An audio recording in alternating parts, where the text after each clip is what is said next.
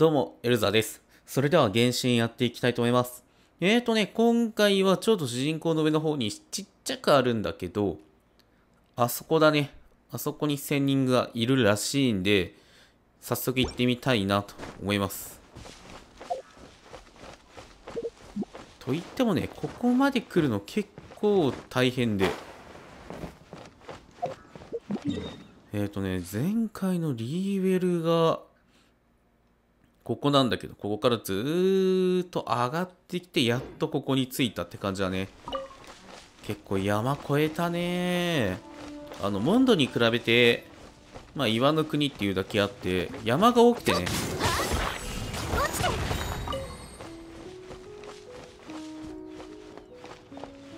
結構大変っちゃ大変な感じだね。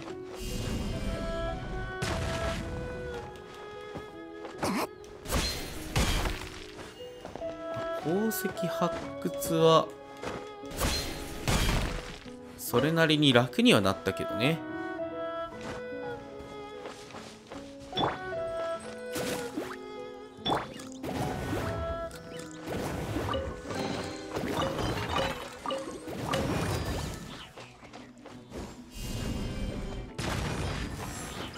あやっぱ属性が手に入るかガード。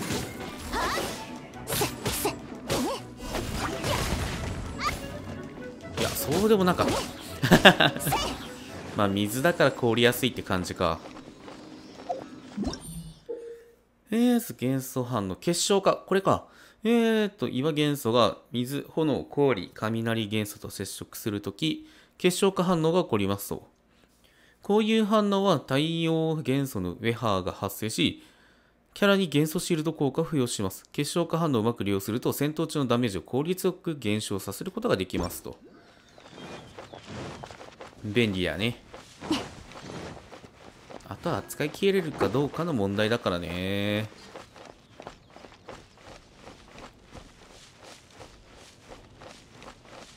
あそこか遠いな。まあ、今回は山登りを楽しみながらという感じになるかな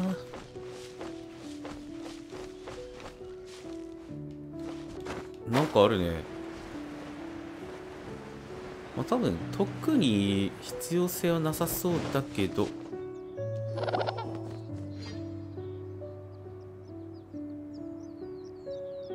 何者だ？なぜ勝手に絶運の間に入った？ここでいいんだ。マジかしかも仙人って鹿なんだこれを見てほしい。近畿滅却の札。これは久しぶりに見たな。属性の人の手にまだ残っておったが。我は三眼五剣仙人。昨月畜陽神君だ。旅人よ。なぜこの地を訪れた？実は犯人がいたぞ！こんなところまで逃げていたとは！隊長これ以上絶運の間には入れませんよ。仕方ないだろ犯人を捕らえるのが最優先だ！想像しい。彼らを送り返せ。だが殺生をしてはならぬ。ということで殺さず生かさず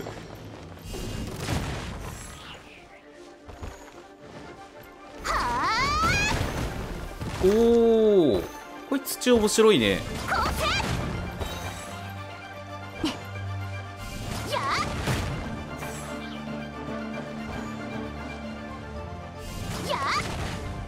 元素スキルだけでね。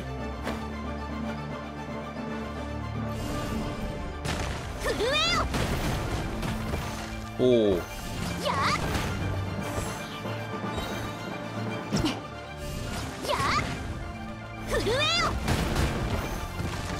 使い勝手がいいかって言われるとまたちょっと微妙だな。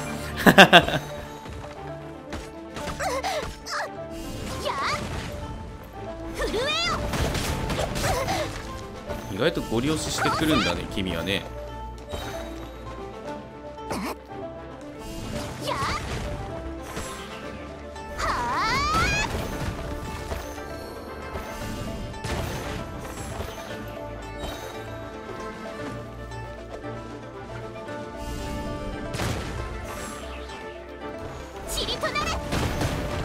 血に染まれか。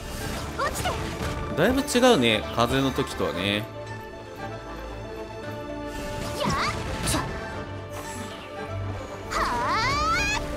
あー高さは受け付けない。とあやちゃ落ちて。チリとなれさああ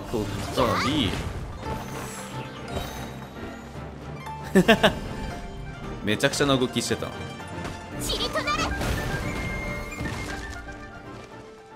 さあこれでいいかな？さて本題に戻ろう。旅人よ。来訪の理由を述べよ。実は。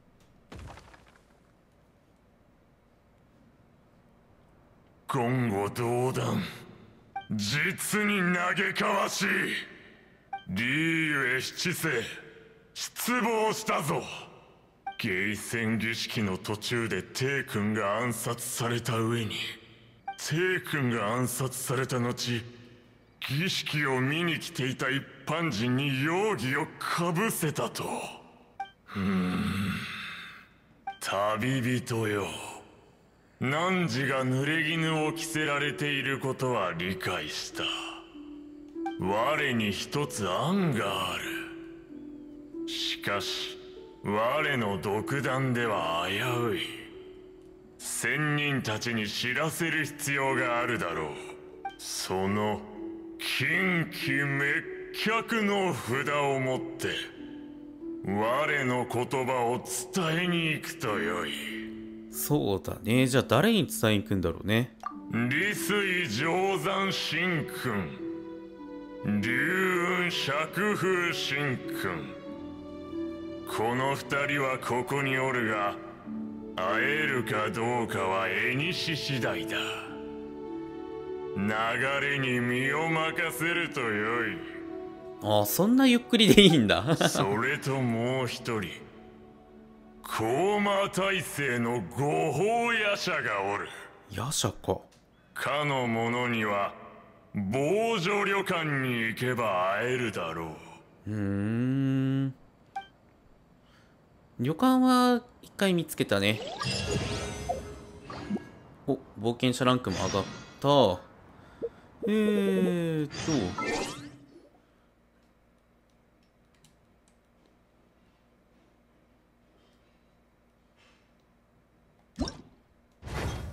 イベントではない。はあ。先に君たちを探してからにしようか。でえーと。あーさらに奥に行けば会えるね。ああまださらに上か。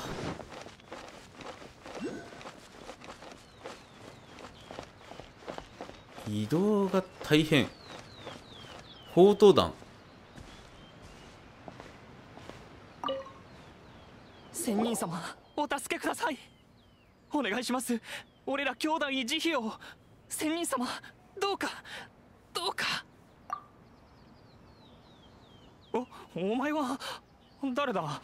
どこから？こっちが聞いてるのに。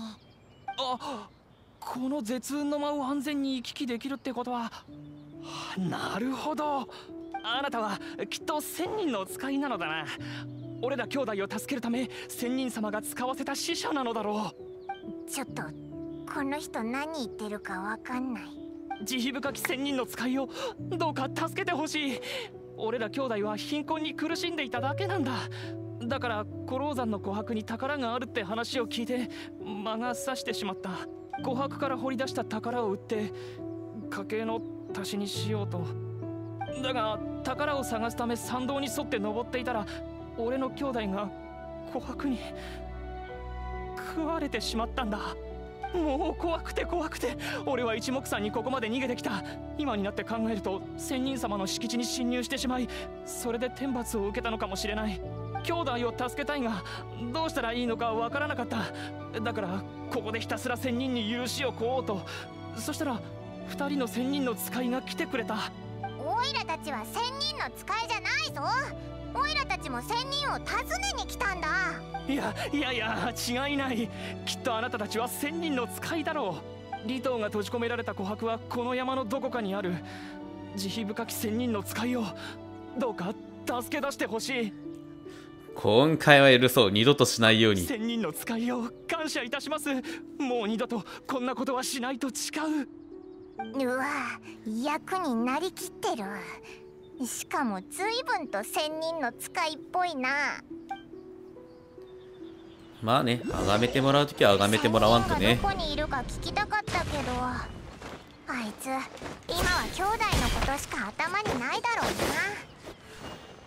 な。えー、っと確か李東はこの古老山の琥珀に閉じ込められてるって言ってたよな山道に沿って登ったらしいから。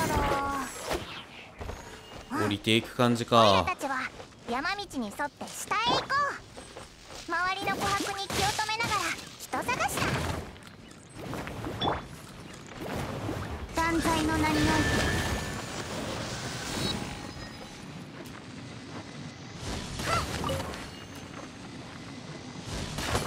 そうだね。降りていきながら解放していきますか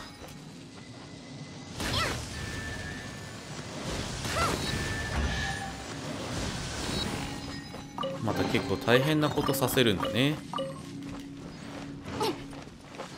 えーとこの辺りにはないとして。琥珀ね。結構大変なんだよねあれ壊すの。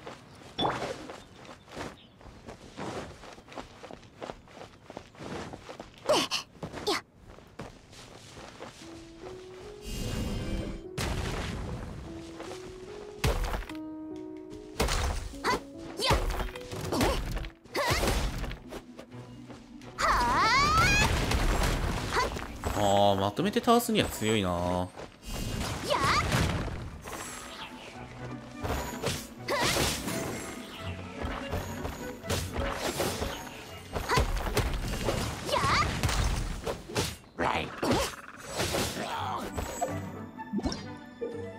ヒルジャル。ああ岩立なんだ。はあ雑魚も変わってきてるのか。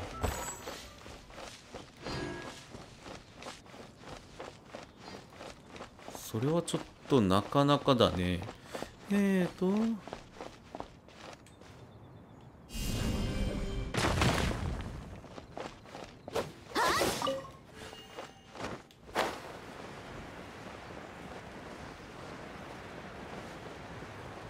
これはどうかな？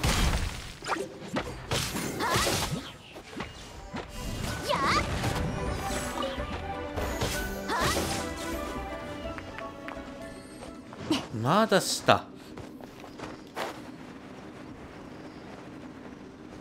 あっちか。あの塊の中か。イノシシ。今度やろういやイノシシがね意外と剣で倒すってむずいのよ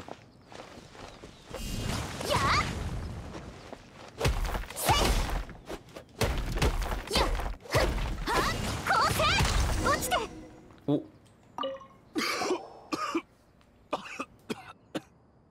俺は一体あなたたちが俺を助け出してくれたのか？感謝する。そうだ。俺の兄弟を見かけなかったか？名前は李長俺と一緒にこの山に来たんだがまさか兄弟も。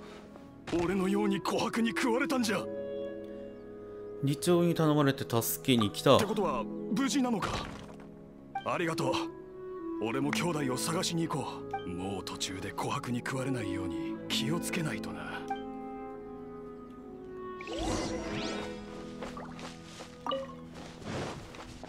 ね。生きるためでも出してはいけない領域があるってことだからね。さあこれでまた山を登ると。さあこれでいいかな？千人の使いよありがとう。俺千の兄弟を人を見たことある？ああ俺らも噂程度には聞いたことがあるこの古老山は千人の敷地だって。でも俺らみたいな凡人が千人に会うなんて夢のまた夢だ。ただ尊き千人の使いのあなたならきっと俺らとは違うはず。おっとこれ以上千人の敷地でうるさくしてはいけないな。俺らは帰ることにする。本当にありがとう。ありがとう。最後まで言えや。マジか。本当に千人の使いだったらいいな。なんかここの千人は気性が荒そうだ。でもオイラたちは悪いことしてないし多分。三門を荒らし戒めを受けさせたぞ。おスザクか。無知なる凡人よ我が戒めをその身に受けいいとこで切れるな。まあまあそんな怒らないでやってよ。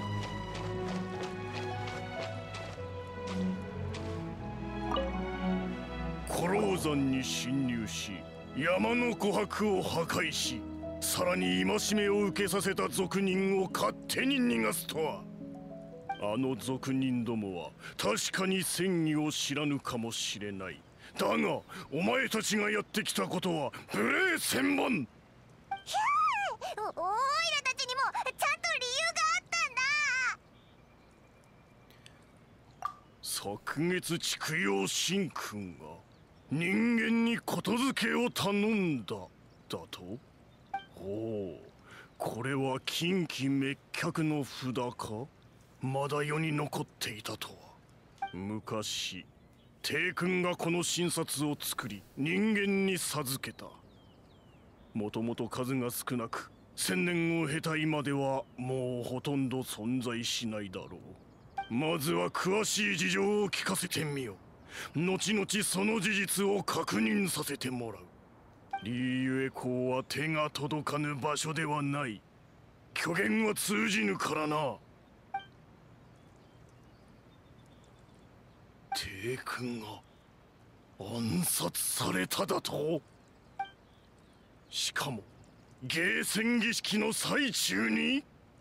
リーユエのいやこの世界の誰がそのようなことを？待て。帝君を暗殺できる者などこの世にそういるだろうか。我らは帝君の律令に従いリーユエを守っている。人間界の繁栄により我々は山野に住むようになった。これは人間を思ってのことであったのにだが今帝君は帝君はあ旅人よ。話は分かった。昨月畜養神君が招聘した理由も分かった。この山の雑事を処理したら他の仙人たちに会いに行こう。そういえばここの琥珀っ知ってるぞ。あれは千人の戦力だろ。小説とかに書いてあるみたいに羽を草木に唾液を滝にって感じであの琥珀もきっと同じ原理なんだろ。うちょっと気持ち悪い。失礼すぎるだろそのような話は知らんがこれら琥珀は私が植えた花だ。なお登山葵という。へえ花なんだ。この花の大部分は地中に埋まっている。これを踏むと琥珀が生み出され侵入者を閉じ込める仕組みになっている。ここに隠居して以来山の静寂を求めるためにこの花を至る所に植えたおかげでここ数年で侵入者を数多く排除してくれている。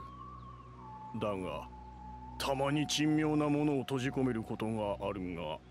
じゃあこの琥珀って生きてるのか？その通り。もし私が軽率にこの山を離れれば罪のない命まで傷つけてしまうかもしれない。それらの処理を済ませたら立つ。お前はもう行くがよい。おおだいぶお怒りやったね。まあ仕方ないとして。さあ。こっからよ。次こっち。この一番上まで行きたかったな。うわなかなかやね。よしじゃあ今回はここまでにしましょうそうだね次回はこの近くから再開しようかな。ということで、えーここまでご視聴ありがとうございました。よければチャンネル登録、高評価よろしくお願いいたします。それではまた次回お会いしましょう。ほんじゃあ、またね。